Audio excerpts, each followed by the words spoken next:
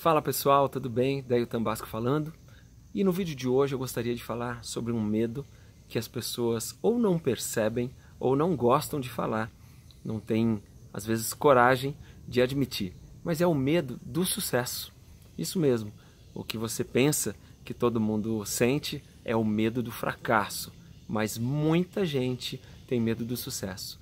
Existe até uma oração, é, que é a oração de Agur, onde ele diz: Não me des muito e nem pouco, porque se eu tiver pouco, posso vir a roubar, mas se eu tiver muito, posso te esquecer.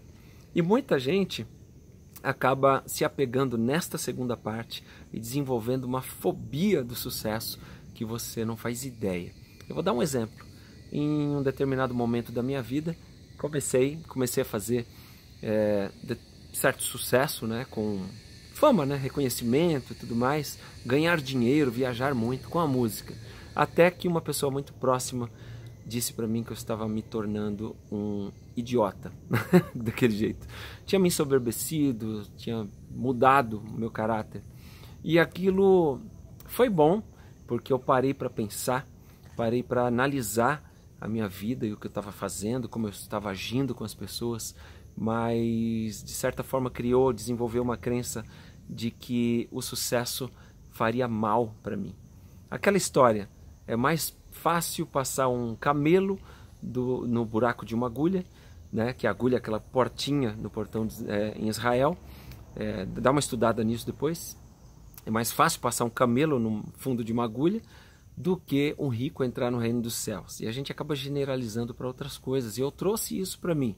Eu não sou rico, nem era naquela época, mas eu tinha sucesso, eu tinha fama, conhecido por todo mundo, viajava, uma agenda lotada, hora Cats Barnea, hora solo, hora Renascer Praise, e acabei, de certa forma, me ensoberbecendo, me achando, como a gente diz. Eu mudei o meu jeito de ser e, e alguém reclamou. Se alguém reclamou, foi bom, mas é, outras pessoas que não reclamaram, que não têm acesso a mim, de repente poderiam ter pensado mal, e, e naquele momento tudo veio à minha mente. É, será que as pessoas não estão mais gostando de mim?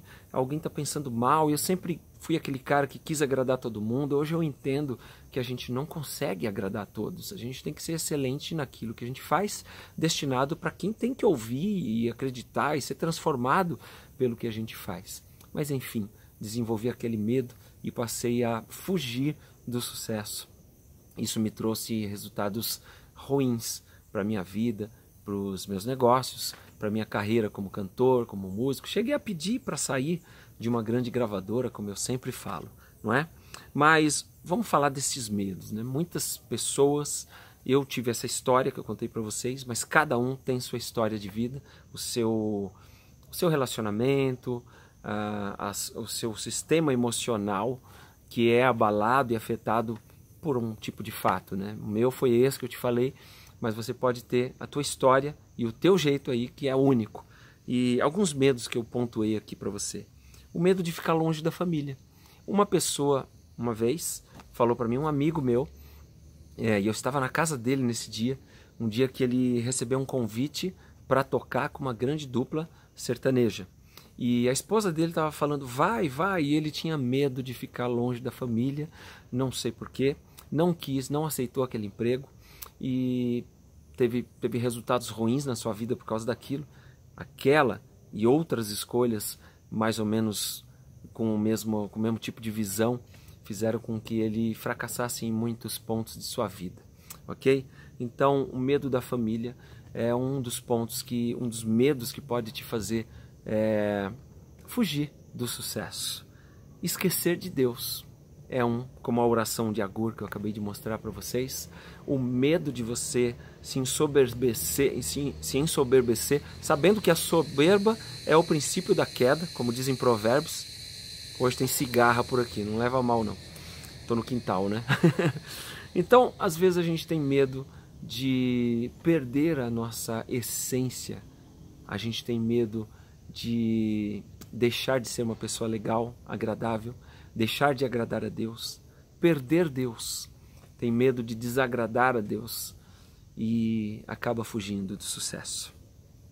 Se tornar uma pessoa arrogante, às vezes, como eu falei, foi o meu caso, Eu já tinha me tornado uma pessoa de certa forma arrogante, mas quem me conhece a fundo sabe que na minha essência eu nunca mudei, porque as pessoas que sempre tiveram acesso a mim continuaram tendo acesso a mim e esse acesso não mudou, mas de certa forma eu passei a me colocar de uma forma diferente, as pessoas começaram a me enxergar diferente, principalmente pessoas que tinham essa liberdade de dizer aquilo para mim.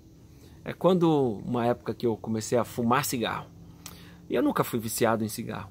Mas um primo meu um dia, o Marcelo, chegou em mim e falou: Dei, você tá com um bafo horrível. E foi o jeito dele de me tirar daquele, daquele vício que eu nem cheguei a entrar. Mas o Celo, como eu chamo, ele foi muito sábio. ele falou que eu estava com um bafo horrível. Aquilo fez eu me afastar. Então, ele tinha abertura para isso. E as pessoas que não têm abertura de chegar em você e falar: olha, não muda. Você está mudando, eu estou percebendo que o sucesso está subindo a cabeça. Tome cuidado.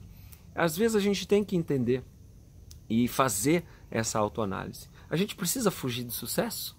A gente não precisa fugir do sucesso, mas a gente precisa reavaliar o, as nossas emoções e para onde elas estão nos levando.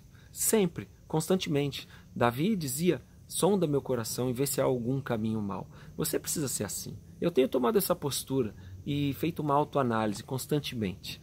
Isso tem mudado a minha vida, tem me feito é, continuar num platô de busca de Deus, de, de caráter, é, aquela coisa de você crescer é, constantemente, mas manter a tua essência, não é? A melhoria contínua é a nossa busca eterna, porque parecer com Jesus já é suficiente. Ser igual a ele a gente não consegue, mas a gente vai morrer tentando, né?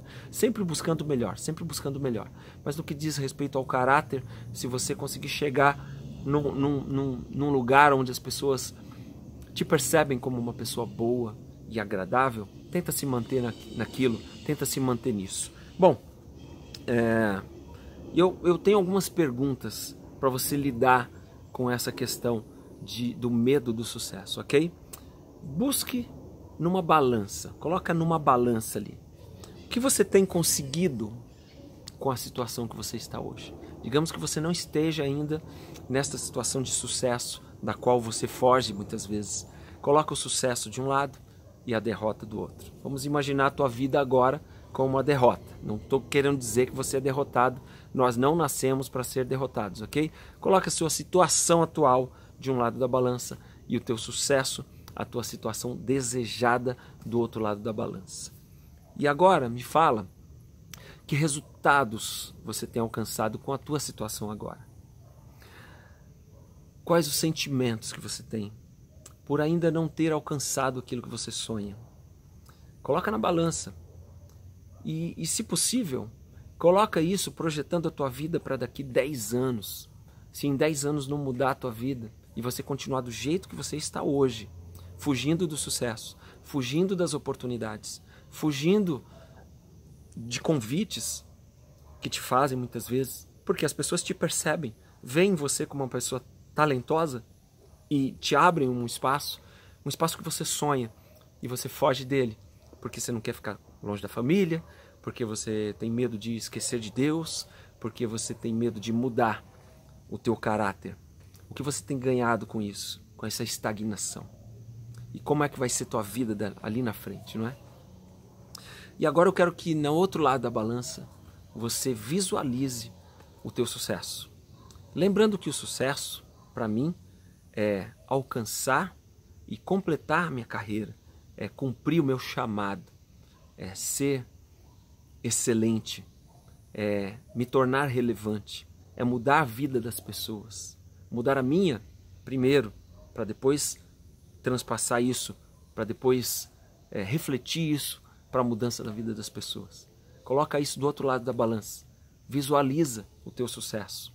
Ah, mas no sucesso tenho muita fama. Não tem problema. Se você tiver sabedoria e equilíbrio emocional para lidar com as suas próprias emoções, o sucesso não vai te corromper. Coloca isso do outro lado da balança, o teu sucesso. E imagina esse sucesso por toda uma vida não só daqui 10 anos.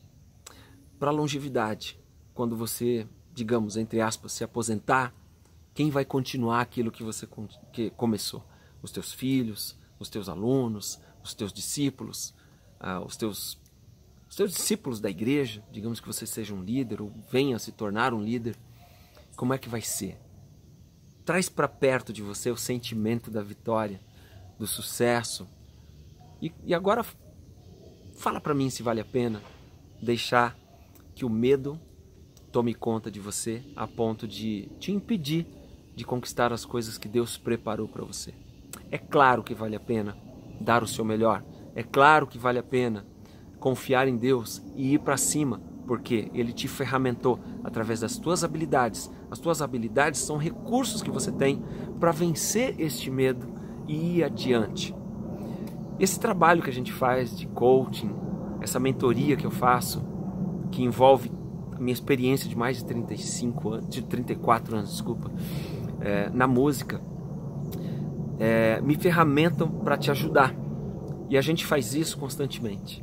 Por isso eu queria te oferecer agora um, uma, uma sessão experimental de coaching, onde a gente vai pegar o teu case, a gente vai pegar a tua situação atual, o teu sonho, vai colocar no papel, visualizar, traçar metas para você alcançar aquilo que você sonha, qual o, o desejo do seu coração. E eu faço isso individualmente. Eu vou fazer isso gratuitamente com você. Mas eu não tenho tantas vagas. Eu tenho para cada semana uma média de quatro vagas. Então você precisa correr e me procurar.